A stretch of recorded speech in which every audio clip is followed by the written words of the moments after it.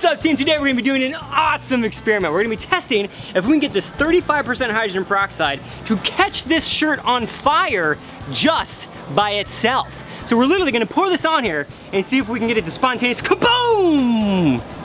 Combust. Um, so as you guys know, you know, there's no way of knowing unless you test it. So let's get to testing. All right, guys, so here's how this is gonna work and why this is gonna work, or at least we think it's gonna work. So hydrogen peroxide, when you pour it out um, onto a substance, this, is, this shirt is primarily cotton, it's 100% cotton. Um, what happens as the hydrogen peroxide gets in contact with things that are organic, um, it breaks down into oxygen gas and water. This is actually the same thing that's happening with the foam fountain of science, it's just that the potassium iodide is speeding that reaction up. Now that reaction is exothermic, so when hydrogen peroxide splits uh, and you get water and then O2 gas, uh, you also get heat. And so if we get enough heat, it'll actually catch something like this, a cotton shirt, on fire, potentially, if we get it hot enough, then the oxygen gas that is coming off of that reaction will fuel the fire, and then it'll actually just, boom, real quickly, catch on fire, and we'll actually get this thing to catch on fire with just the hydrogen peroxide. Now, if you guys look, right here on the side, it actually says right here, it this symbol right here means that it's an oxidizer. And so while this isn't fuel itself, meaning it's not flammable, I can't catch hydrogen peroxide on fire, it is an oxidizer, so it'll aid in catching things on fire. It'll aid in a, a fire that's already going. So if we can somehow get that uh, that exothermic reaction to the right point. Um, it's what is known as a flash point. point, and then this shirt that is soaked in this hydrogen peroxide should literally just, boom, catch on fire. I presume this is actually gonna take a little bit of time, so uh, we're just gonna, this can kind of be like our first test, and if it works, then we're gonna do it again. Uh, hydrogen peroxide, pretty mean stuff. Don't screw around with this stuff. It looks pretty soaked to me. so we're just gonna step back over here, the shade. All right, so uh, we're gonna monitor this from the shade. It's, it's insanely hot out today. And then uh, if it looks like it's smoking or something's going on over there, we're gonna rush over there with the camera. We're gonna document the living crap out of that. Oh yeah.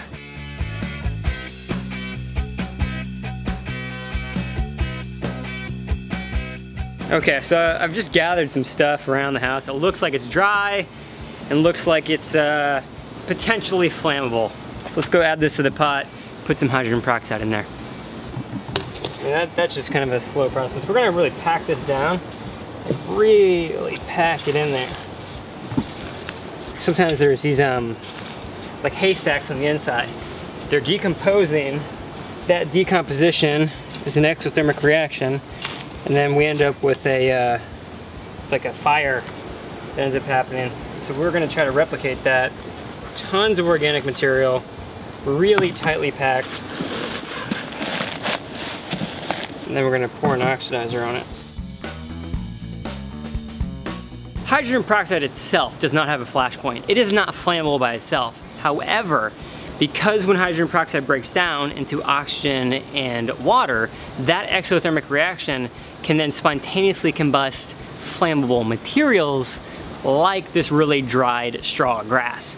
And so what we're doing is we're trying to get that combination just right so we can get this chemical fire just to happen on its own. It's a, it's a happy accident. Okay, it's been like two hours and we're finally starting to see something happen here. you see it actually smoke like that? See it's, uh, you get on the side here, you can actually see it quite a bit.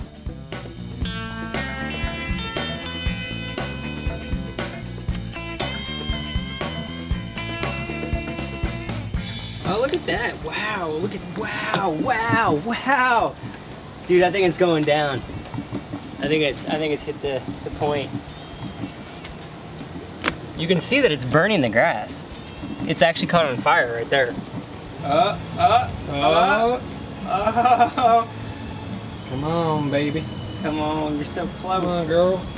Come on. Oh, you're so fine. Don't let us down. Don't let us down. Looks like it wants to catch on fire. Smells like it's already on fire. I just don't see any flame. Maybe inside.